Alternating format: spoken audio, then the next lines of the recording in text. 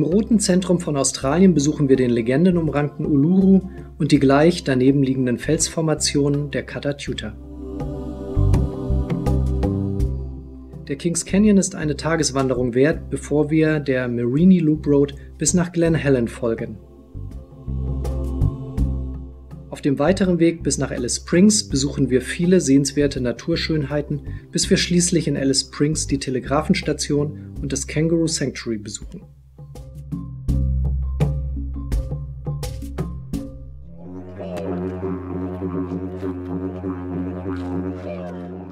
Warum fahren Touristen in das rote Zentrum und nehmen den weiten Weg in Kauf? Irgendwie muss es an dem roten Stein inmitten der Wüste liegen. Durch die Sonneneinstrahlung, die Bewölkung und je nach Jahreszeit auch unterschiedlichen Einfallswinkel des Lichts erscheint der Uluru und auch die daneben liegenden Katatuta in vielen warmen Erdtönen, die von braun bis orange und sogar teilweise bis ins kräftige Rot reichen. Um den Uluru ranken sich viele Legenden und die Aborigines nutzen die Traumzeit, um alle Höhlen, Furchen und Unregelmäßigkeiten im Fels zu erklären. Ein Besucherzentrum gibt hierzu einen wunderschönen Eindruck. Da der Uluru heilig ist, sollte man an den markierten Stellen von Film- und Fotoaufnahmen absehen. An allen anderen Stellen sind aber Aufnahmen erlaubt.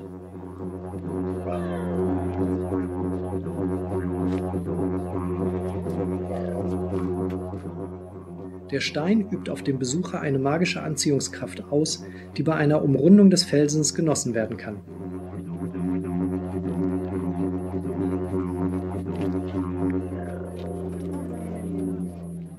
Auch kürzere, durch Ranger geführte Touren sind möglich.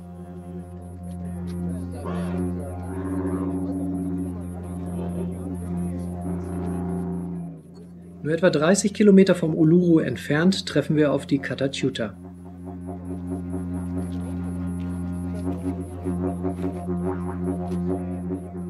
Der Name aus der Sprache der Aborigines vom Stamm der Anagu beschreibt die Gruppe von 36 Bergen sehr treffend mit dem Namen Viele Köpfe.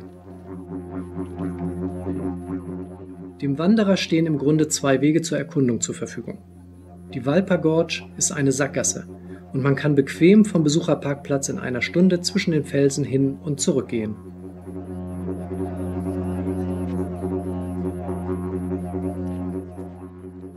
Die Wanderung im Valley of the Winds verlangt eine gute Kondition, eine ausreichende Mitnahme von Wasser und lässt sich in vier bis fünf Stunden bezwingen.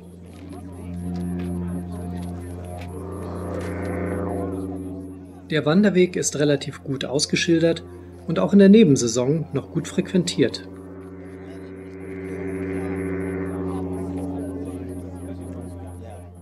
Der Weg schlängelt sich durch die vielen Köpfe der Katatuta und erlaubt wunderschöne Blicke in das Tal des Windes und auf die majestätischen Hügel. Ab 36 Grad im Schatten ist dieser Weg allerdings aus Sicherheitsgründen gesperrt.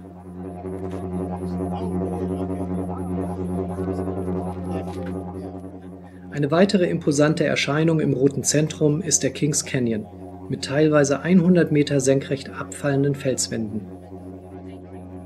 Erstaunlich ist der Kings Creek innerhalb der Schlucht, der in einigen Bereichen ganzjährig Wasser führt und zu einer grünen Oase in der sonst so trockenen und lebensfeindlichen Umgebung sorgt. Ein wunderschöner Wanderweg führt in den Kings Canyon hinein, immer am Kings Creek entlang. Ein noch schönerer, aber sehr viel längerer und anstrengenderer Weg ist der Rimwalk, welcher den Abenteurer einmal um den Rand des Canyons führt. Traumhaft schön bei aufgehender Sonne am frühen Morgen. Es bietet sich auch an, in den frühen Morgenstunden den Rimwalk zu beginnen, da im Laufe des Tages die Temperaturen zu sehr steigen und den Rundweg zu strapaziös werden lassen. Bei zu hohen erwarteten Tagestemperaturen wird der Aufstieg gesperrt und man kann diese tollen Aussichten nicht mehr genießen. Immer wieder andere Einfallswinkel des Lichtes lassen den Kings Canyon in allerlei warmen Erdtönen erstrahlen. Den Höhepunkt, den Garten Eden, Ein paradiesisches Wasserloch, das ganzjährig Tiere hauptsächlich in den Morgen- und Abendstunden zum Trinken anlockt, darf man sich nicht entgehen lassen.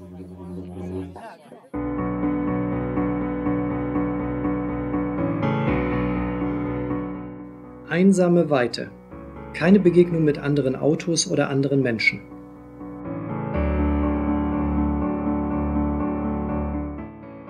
Was zum einen ein Abenteuer bedeutet, kann im Falle einer Panne schnell zu einer Frage des Überlebens werden.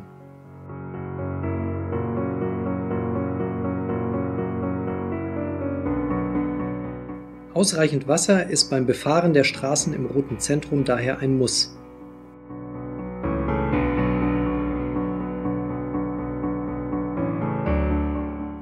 Wer hier nicht auf Nummer sicher geht, kann dies schnell mit dem Leben bezahlen. Die unerwartete Tierwelt kann auch auf der einsamen Piste der Marini Loop Road hinter jeder Kurve warten. Aufmerksamkeit ist hier immer oberstes Gebot.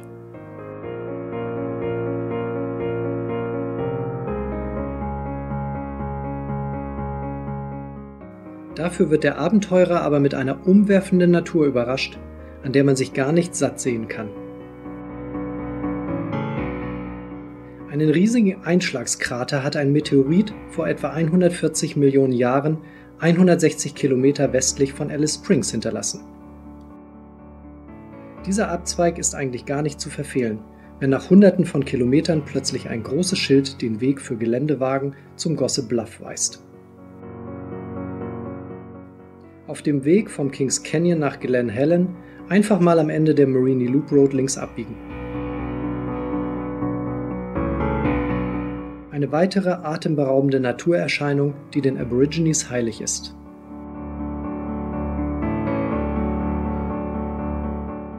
Unsere Tagestour zurück nach Alice Springs wird begleitet von allerlei Naturwundern entlang des Namatira Drives. Der Larapinta Wanderweg schlängelt sich hier 223 Kilometer durch die West McDonnell Ranges, sodass fitte Wanderer diese Naturereignisse auch erwandern könnten. Die Ormiston Gorge macht den Anfang. Weit im Westen gelegen führt das Wasserloch in der Schlucht ganzjährig Wasser und etliche Plattformen bieten atemberaubende Ausblicke in die Schlucht.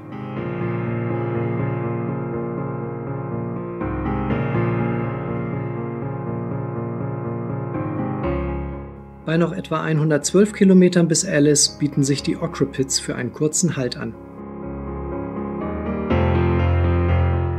Die Ockerfarbe wurde ausschließlich von den Aborigine-Männern geerntet und spielte im Handel mit den anderen Aborigines eine wichtige Rolle. Hier wütete vor kurzem noch ein Buschfeuer und hinterließ Lebensraum für eine neue Generation von Pflanzen.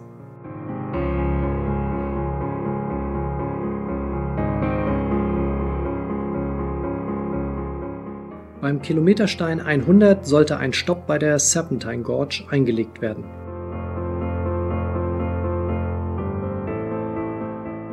Die tiefe Schlucht zwischen den beiden Felsen bietet genügend Schatten, sodass sich auch hier ganzjährig ein Wasserloch halten kann.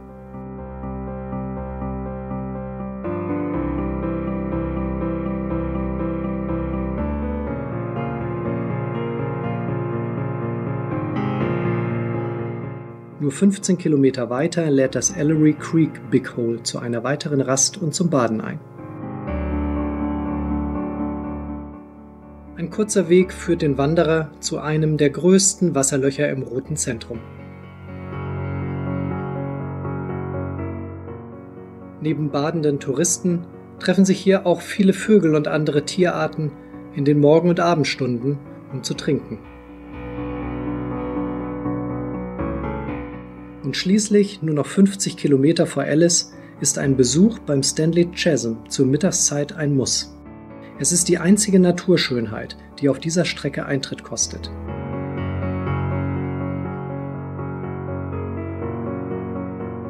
Aber zur Mittagszeit, wenn die Sonne senkrecht vom Himmel brennt, ergibt sich hier ein wunderschönes Farbenspiel an den Felswänden. Dies muss man gesehen haben.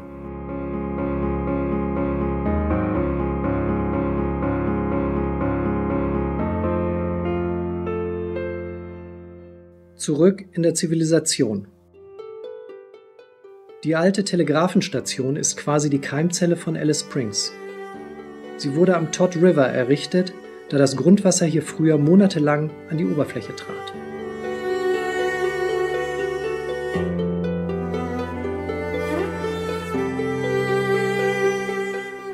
Ursprünglich war dies eine Relaisstation und Teil der transaustralischen Telegrafenleitung. Die Signale mussten alle 300 Kilometer empfangen, abgeschrieben und erneut auf das nächste Teilstück geschickt werden.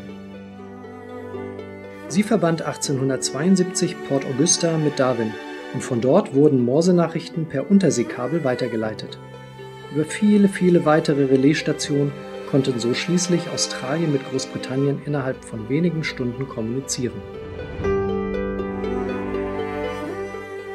Den Ausstellungsräumen findet der historisch und technikbegeisterte Besucher sehr gut gemachte Erklärungen der damaligen Technik und der Lebensumstände in der Telegrafenstation. Bevor wir uns vom Roten Zentrum verabschieden, werden wir uns ein ganz besonderes Highlight nicht entgehen lassen. Ein Besuch bei Chris Barnes.